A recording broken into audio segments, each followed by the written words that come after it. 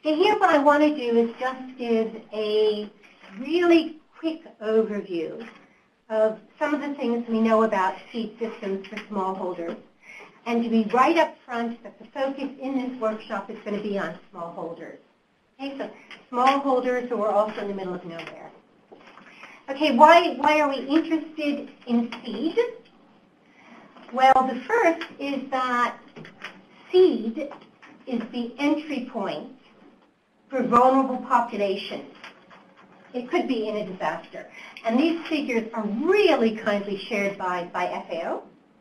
What you see in a six-year period, 97 to 2003, FAO's budget, you all know the UN FAO, okay, increased, so it's, this, a six-year period increased sevenfold. And this is 2008 in response to the food security crisis. FAO alone has projects in 48 countries. And then these, I think, are the most current on FAO in 2011. Mostly seed alone is about $750 million. So seed in high stress is big business. And I'm sure most of you know right now, particularly in Southern Africa, huge emergency seed. Southern Africa, eight countries, Ethiopia scaling up again. Countries like Ethiopia have had seed aid since 1974, so 40 years. Okay? So seed and the vulnerable are key for us. The second thing is that some of you in the room, seed and commercial development. I don't know if you've seen this, but the commercial sector, mostly maize and horticultural seed, is 32 billion a year. So the question is, is this commercial sector serving smallholder farmers? The third main reason is that seed is the way that we move innovation move new genetic material. So it's the way we move um, nutrition, resilience, income. The problem, of course, is across Africa, mostly the varieties that are moved are maize and horticultural seed, maybe groundnut. So in seed, we have emergency, vulnerable, we have a huge amount of money, and we have innovation. It's a really interesting input. Uh, just to be very clear, a vibrant commercial sector does not mean that new varieties will move. I'm really glad you're here from the World Bank. I'm so happy to see you. Also, a vibrant commercial sector does not mean that smallholders will be reached. So in this group here today, let's just be very honest. What can we do, what we can't do? And then finally, the second thing is I want us to keep in mind our clients, poor farmers, maybe drought-prone zones, maybe nutritionally malnourished. There are different client groups within smallholders. Women, women, men. Who are the client groups you're trying to reach? Okay, um, what are the types of seed systems that presently exist? I know some people know seeds, some people don't know seeds. Well, Conventionally, we normally say that there's a formal seed system. And that's, you've seen this diagram probably, that's this red band. And that's modern varieties. You sometimes call them improved, but they may not be better, but they're modern varieties and certified seeds. Okay? So the formal system, generally you have the government doing that. You have commercial companies and many of the relief agencies only deal in formal seed. Okay? But then you have what's sometimes called an ISISLU. And it's funny, it's called informal system, traditional, local, farmer. It's all the same thing. And in there you have own stocks, exchange like social barter, and, and markets, local markets. If you look at these cylinders, each of these is an action zone where we can make a difference. Right? So you often just think commercial sector, but maybe we can make a great difference by improving own stocks. Think about them as action zones. Here I just want to highlight that markets, you often think about commercial markets like agro-dealers, farmer, farmer, farmer organizations, but often there are also these local markets where farmers get seed. Just to be clear, in the informal market, not all grain can be sown. But some of the grain is very good seed. And then farmers search it out. They search out what's adapted, what's good quality, and we call this a potential. Okay, so we have two kinds of parallel markets going on. We have a formal market, and then we have informal market. Then I want to highlight, many of you work on these funny integrated systems. So they're not formal, they're not informal, so they're community-based systems, farmer co-ops. Any of you ever heard of local seed businesses of ISSD? Yeah, integrated private seed entrepreneurs. And what's interesting about these integrated systems is that some of them tie here to the formal sector. So some of these integrated systems try to go for certified seed, for instance.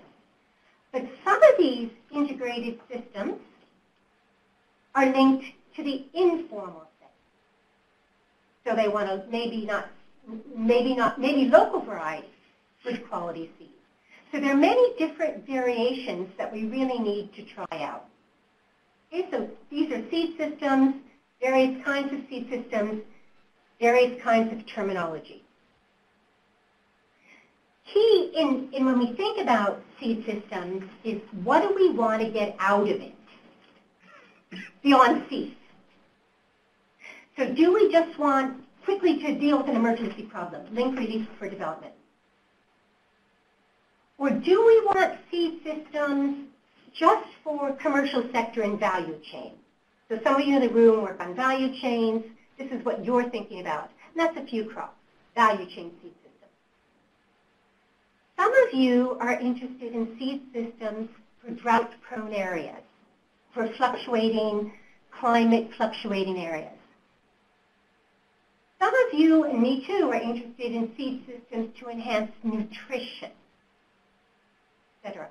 What's interesting is that when we start to map what intervention, depending on your goal, the seed system issues are very different. So think about, you, know, you want seed quality, but for what goal? Nutrition, resilience. Think very hard about what is your goal. What is our goal? Um, just to say that if you look at, I just gave some examples of projects. If you look at most of the projects funded in the world, most of them are under this general kind of food security. Oh, I'm doing seed for food security. Um, the U.S. in particular, because it's tied to breeding, is doing a lot of work now on drought tolerance. So this is just drought tolerance maize for Africa, the WEMAs, the water efficient maizes for Africa.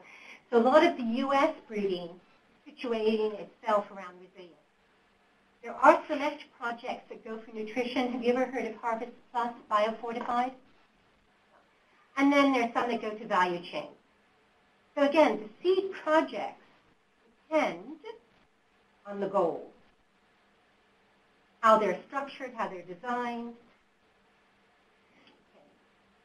Um, I'm going to go back to this, but in, in your folder, there's a sheet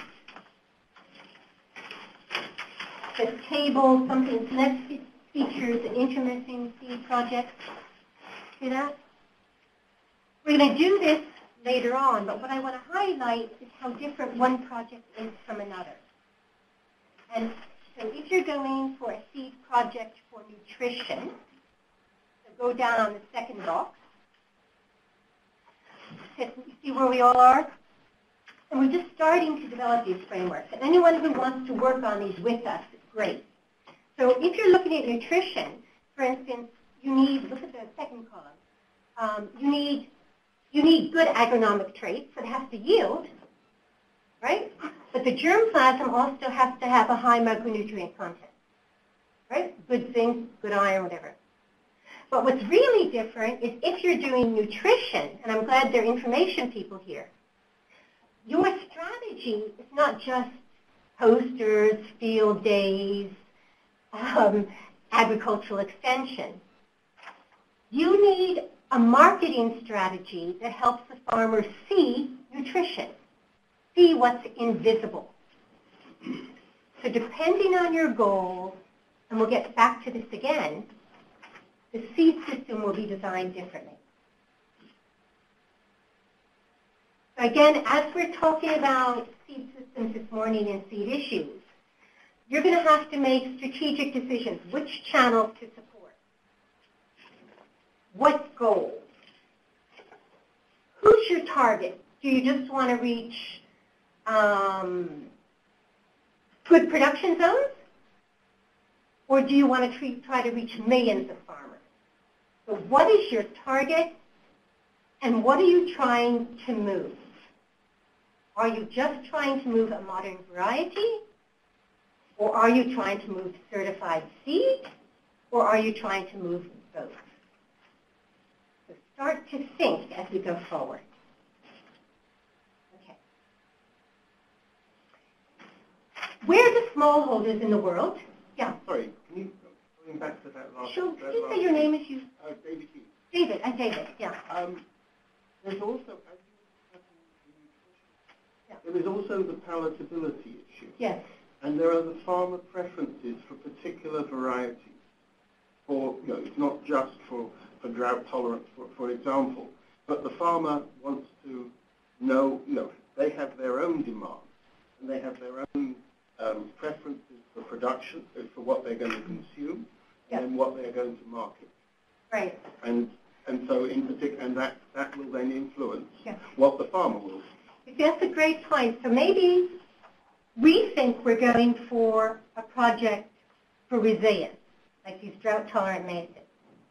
But the farmer might want to market some of these drought-tolerant maizes. They may want to eat some of these drought-tolerant maizes. So while our projects are often designed as unidimensional, farmers are smarter, right? They're also looking at income and other things. Very good point. Yeah, yeah. And yes, just say your first name first so people get to know each other. Yeah, Jenny, Jenny. can you go back to the last slide? You said you said it a couple times now. So you, when you say moving seed, I just want to make sure you mean like getting it from central trading centers and big towns to farmers. Reaching farmers. So when you're, it could be that, but when I say moving seed, and that's a good thing, how do we get, what, what are we selling? right? So when we're moving seed, what is the commodity we're selling? That's what I meant. So this is a very hard thing, and then I want to go on. So are we, are we selling the new variety? So is that our goal, to get out new varieties? Are we trying to sell certified seeds? Now the thing is that many in the business use the term improved seeds. Right? And ask, how many of you use the term improved seeds? I did when I was young. I find it controversial because improved seed means that you're saying that the only way farmers can get new varieties is through certified seeds. So we package the two things together. We package the variety together with the seed quality. But in theory, the two are very different, and the marketing strategy is different.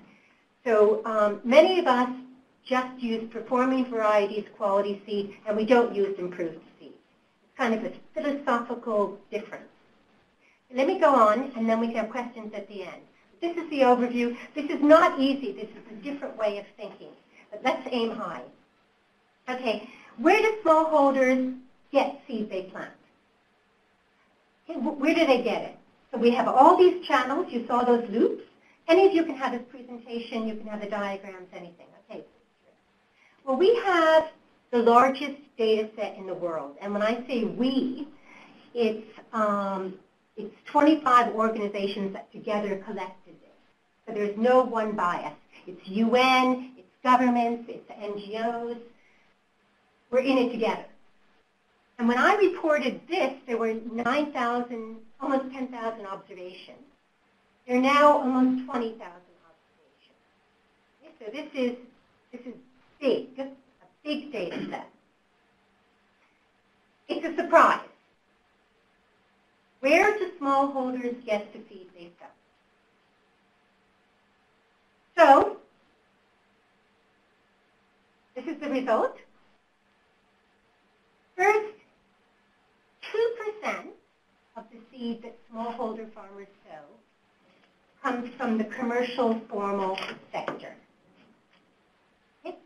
So this is published, you all can see this. All, all the groups that we're supporting, whether it's the U.S., whether it's Gates, of course Monsanto, the companies, national governments, basically the formal sector, and that's 2% of what farmers sell.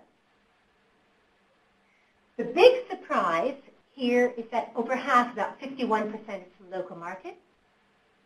There is no official support in terms of our implementation for local markets. None.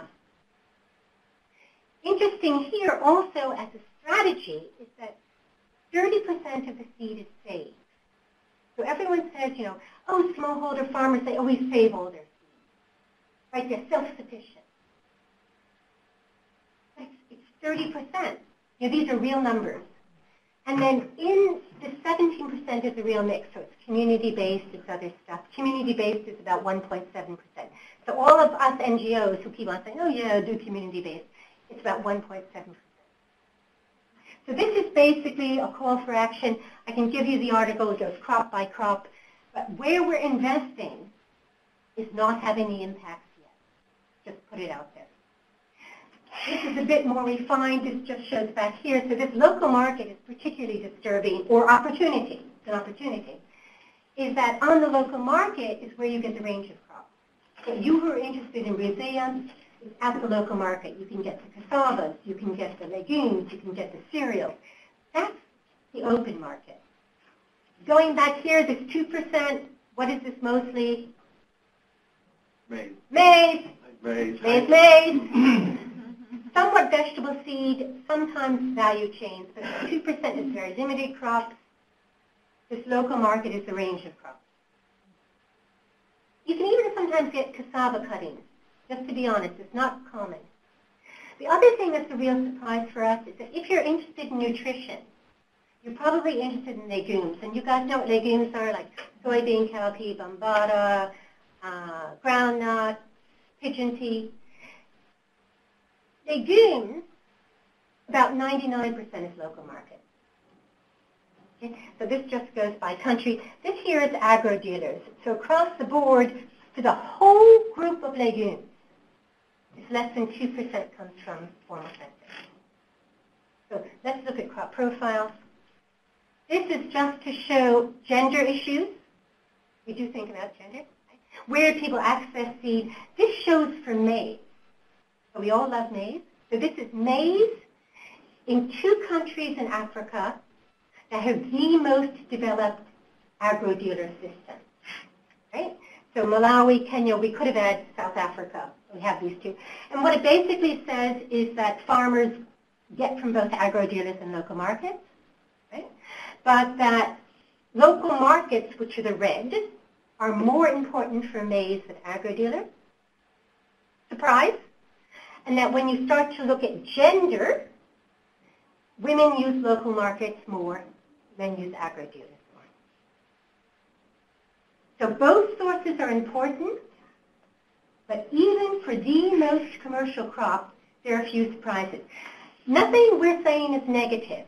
What we're saying is how do we expand the performance of each sector. Um, here is the good news, what I wanted to put all you. Okay, so how did farmers get their seeds? What is the means? And there's lots of different means. You know, they can save it, they can exchange it, they can give it a gift, they can buy. This is seed aid, they can do seed loans, they can plant food aid, they can get money credit. There are lots of ways they can access it. What's huge is that over the half the seed is bought by cash. So 54.6% is bought, which means there's a huge buying power that we're not catalyzing. It's such you know, it's such such an exciting market, but we're not getting it. Then finally, oops, the last one here, new varieties. People are interested in new varieties. You know, scientists, land-grant universities. I used to work for the CGIAR, new varieties. How do farmers get new varieties? Okay, This was new varieties the last, the last, uh, the last five years. Any variety. Well, it's a bit of a shocker, right? So 68%, about 70%, is from government or NGOs. Free, one off. So our strategy for getting new varieties out is give it. Free, one off. Some comes from agro-dealers, new varieties, mostly maize, horticultural crops. Some comes from the local market, at 14%. But this, again, this is an area we need to improve. How are we going to market and get out new varieties on a sustainable basis, not free? Jim? Yeah, I just want to say one thing on the sixty-eight percent there. Yeah. Um, it, it's really become common, I've heard from so many implementers, that that sixty-eight percent is probably the biggest blockage because of the, the donor, the gimme, you know. You're there, you're in the community, you're handing out the seeds, you're testing everything, but they know that, okay, this project, all projects come and go, some more will come, and, you know, technology adoption really is constrained by that factor. You know, that they, sure, we'll come cooperate with you while you're with us, but, you know, they know that eventually somebody else is gonna come along and give them seed and everything. Yep. give them seed and give them a modern technology where there was a there was a property right that went in there, right? And there was, and they just give it free one off. And to be honest, it's escalating, not decreasing.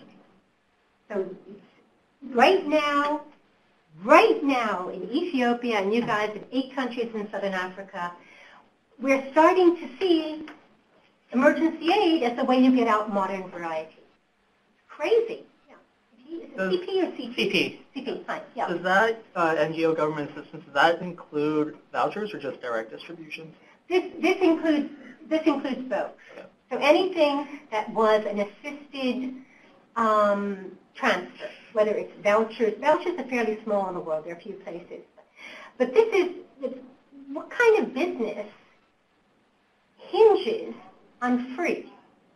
Except right now, the seed business. And when we start to discuss some of these challenges, it's crazy the kind of environment we're trying to work in. Okay, so basically, what I want we, us to discuss today is that if you want to strengthen seed systems for smallholders, yes, we have to work with formal markets, and we have to do it better. But that's mostly maize horticultural seed.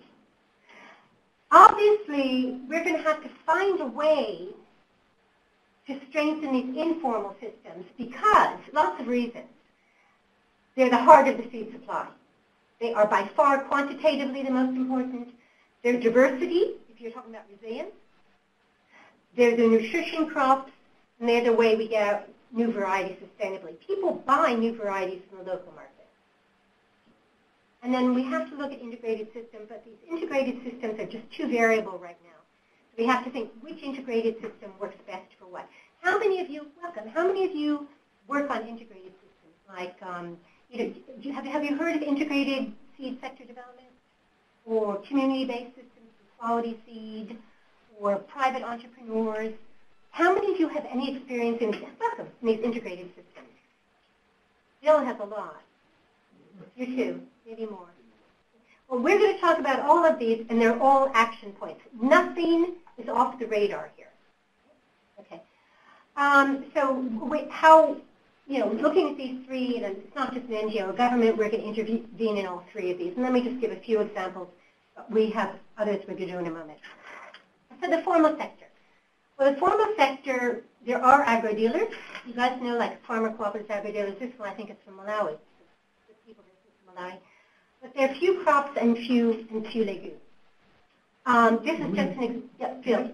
I I don't want to get ahead of you or whatnot, but eventually, I mean, something in that, if you go back to the formal sector, Yeah, yeah. and, and just because of your site in Malawi, I mean, there are, are countries in Africa right now where there's a lot of national seed companies, you Yeah. they're not, you know, and, and they see this window for investments into the legumes. I mean, you know, there's even talk in Malawi about orange flesh sweet potato, you know, commercializing, um, you know, access to, to cuttings and such, but there's a growing market. I think they're gonna play a huge role in seed sector development of, you know, it's not the big international, you know, the Monsantos. and- It's the national seed But the national seed companies are struggling, they're probably subsidized, but nonetheless, they see that window, smallholders like their legumes, nobody's producing seeds of those varieties, so the legumes will purpose, drought tolerant, et cetera, et cetera. Yeah. So I think it'll- they'll play a bigger role, and I'm not sure we'll talk about it.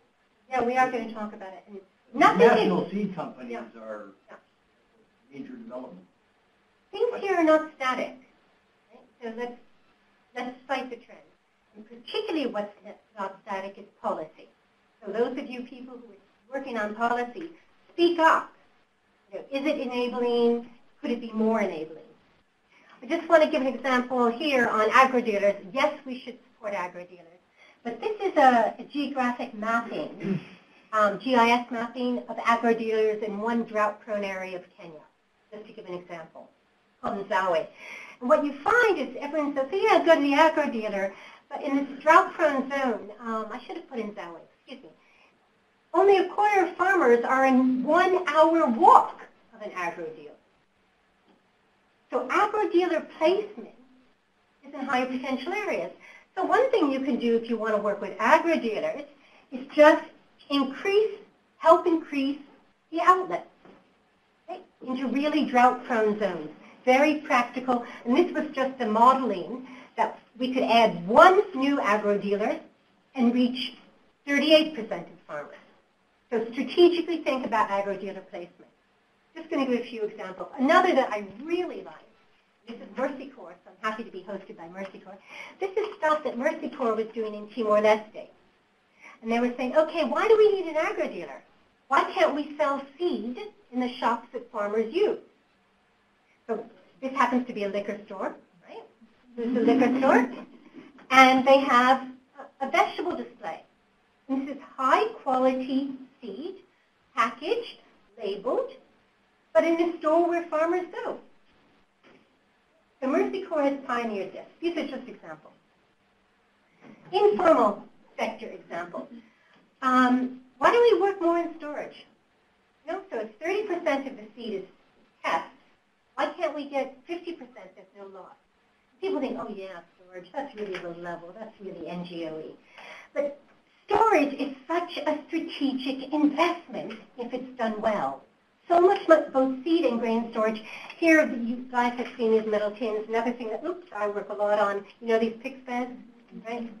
So this is a triple bag, very good for resilience. And my organization, my organization works on PICS now in 15 countries, just because they think it's so strategic. You all know what a PICS bag is, you non-seed people? What it is is a bag, three bags together. You put the seed in the bag, you tie the other two up, and it suffocates the insect. So no pesticides, one investment, you know, a, a bag, and these guys die on their own.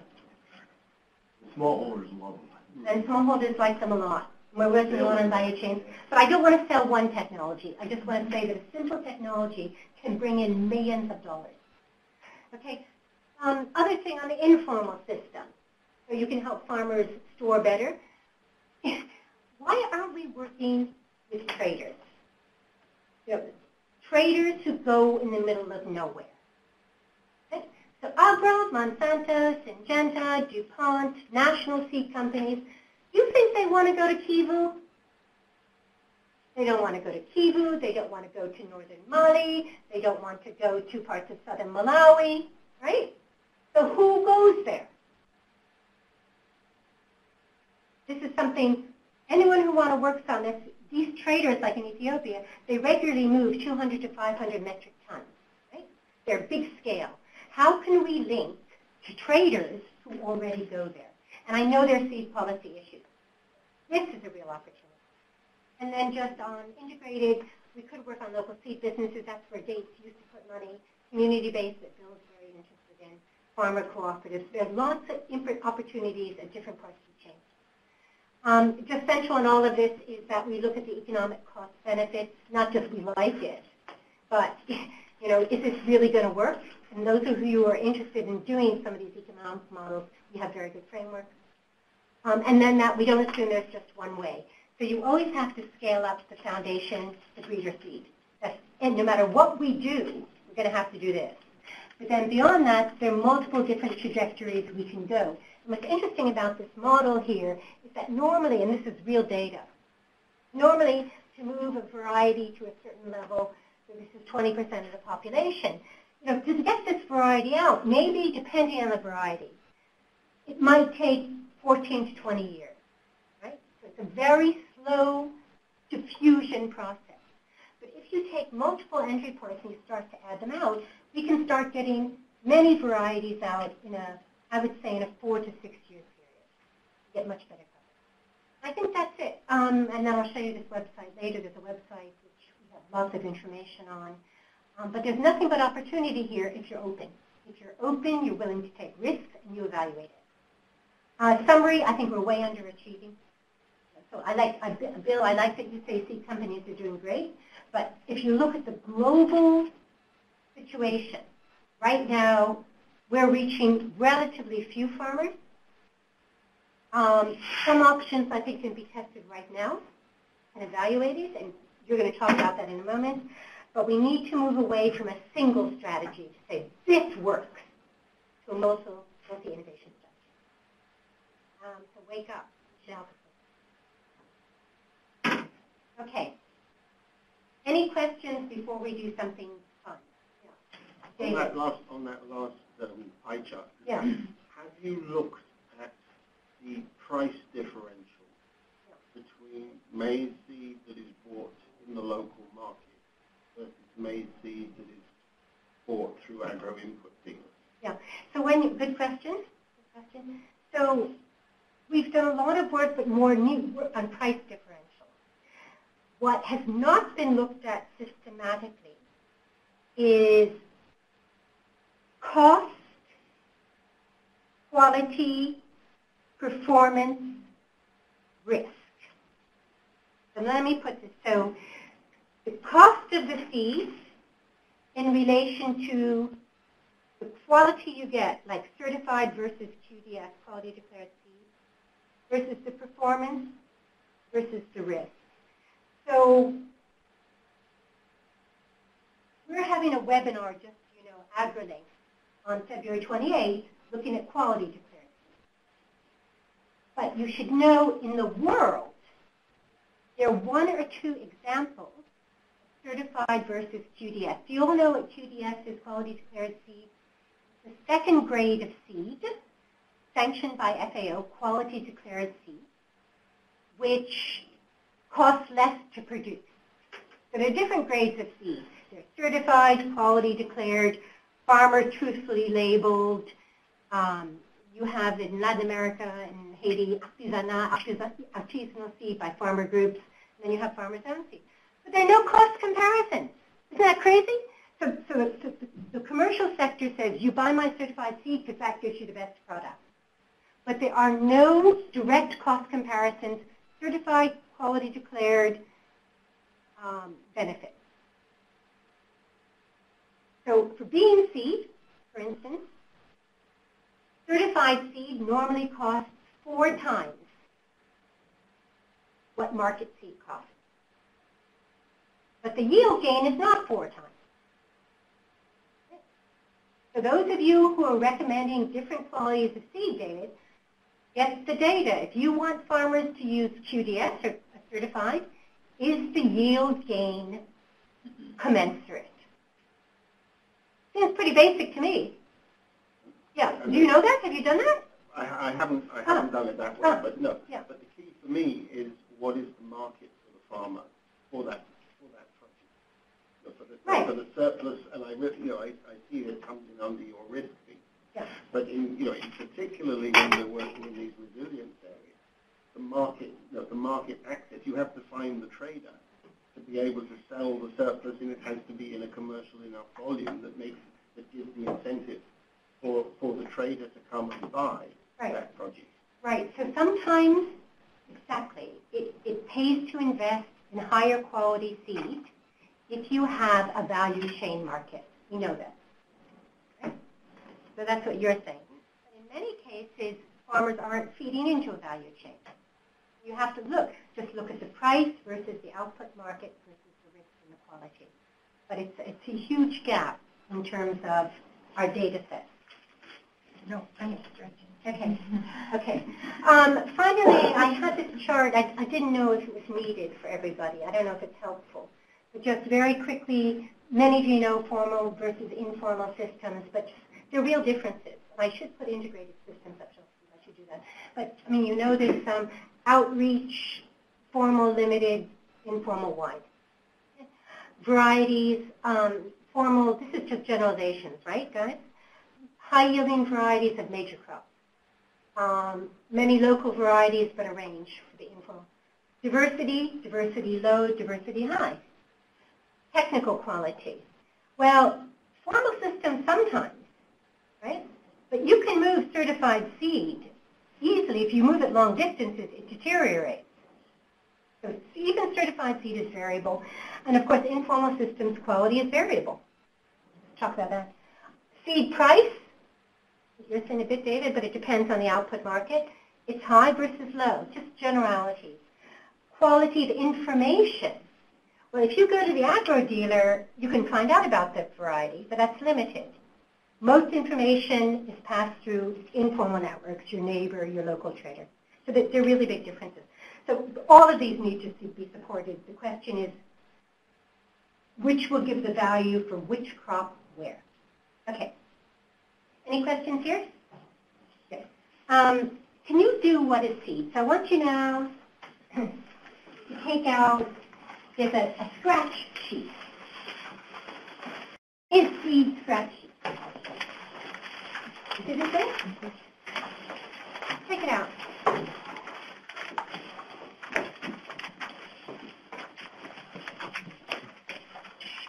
Okay, can you, Abby, can you put on what is seed? just a series of slides. Okay. I'm just going to show some photos. Nothing, we're not testing you.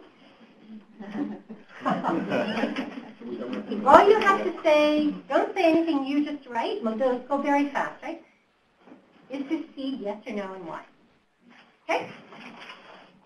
I think there are 11 images, so this is going to take 10 minutes. Okay. Is, is this C? Just write what you think. Is this C, sir? Image one. Don't think too hard. Is this C? So I'm, I'm talking about this stuff right here. Is this C?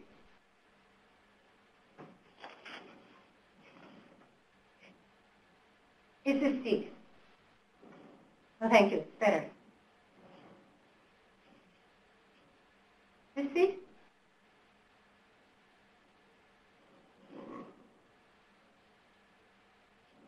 This seed?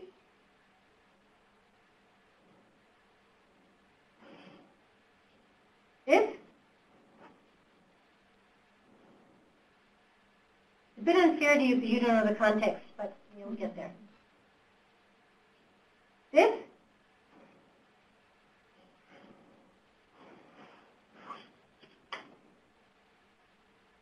This?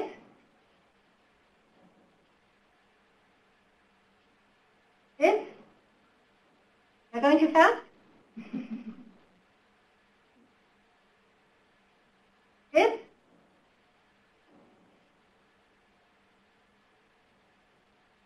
This? That's it. Are you okay? And Anyone want to see any others quickly, or we can start discussing? Okay. Let's start from the beginning again. Can you give me any, go back?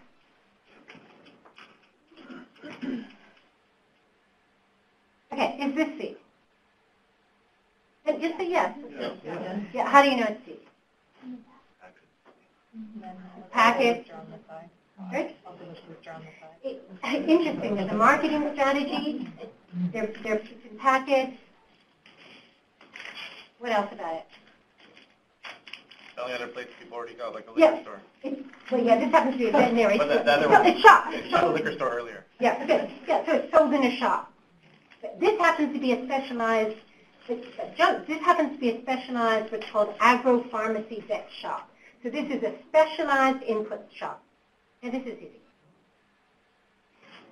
This, Yes, meat, seed.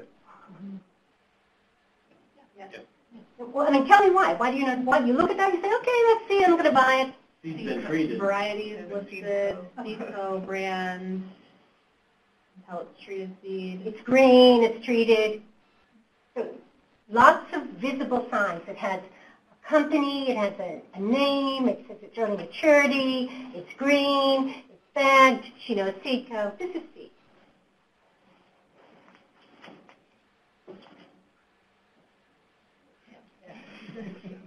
Okay. You think, why do you think it's seed still? Well, I, I would say first that it, it's seed, it's packaged, blah, blah, blah. I would wonder, looking at the date best used by, if it's not a decade old seed or something. So in that case, I would say I wouldn't recommend buying it. It might not be seed. Right. It might not be good as seed. Might be good as seed. So what's interesting is that it's labeled, no, no store, this is just an open market. This could be seed, but then I just want to get you here, this could also be lousy, you know, depending on Oh, the yeah. expiration date, let's be honest. But we always assume that Seedco is great. Seedco, you know, is one of the biggest companies in, in Southern Africa. Uh, but here immediately we say, is it good or not? We have all these, yeah, Oh, sorry. Is there problems with counterfeit seed? Because that seed Sure. kind of reminds me of like the DVDs you buy. yeah. at the market. Fake seed. Huge markets now in fake seeds, and some organizations, seed companies particularly work on it. Great question. So, um, but fake seed, normally fake seed is an issue for what? Which crop? Maize. Maize. So there are lots of investigations now on how to keep fake seed off the market, but it's almost exclusively with maize. Yeah, she's right. This could be fake. Good. And just to add to that, it, it might still be seed, but it, fake seed might not be the seed that you're paying that premium price. Yeah, yeah. You know, you think you're getting a drought tolerant variety that's treated in a special way and something they pick up. Okay. Here, uh, this. It can be seed. It's def- farmer seed, seed there. This is as important as labeling. This happens to be Sudan. This is the way that farmers save this particular, I think this, uh, this crop. This is farmer saved seed put aside just for seed. South Yes. Sudan. I would venture to say you probably got two varieties there too. Yeah. The, the lady's got her other variety she doesn't have as much of, and so she's mm-hmm. separating it out. Yep. Okay, just seed. This is Zimbabwe. What do you think this is? I mean, you guys are at a disadvantage. You don't do agriculture. It's not fair to you. I understand. Yeah. So I'd venture to say, like, a farmer, when they go out into a field saying, okay, I'm gonna pick what I'm gonna save Yeah. versus what I'm not gonna save, you look for the biggest and the best, you know, the So this is a plant in the seed. field, and I would say that's what So this is represent. sorghum, yeah, sorghum panicle, amazing. save for seed, two varieties. This is just as good as Seedco packaging. This.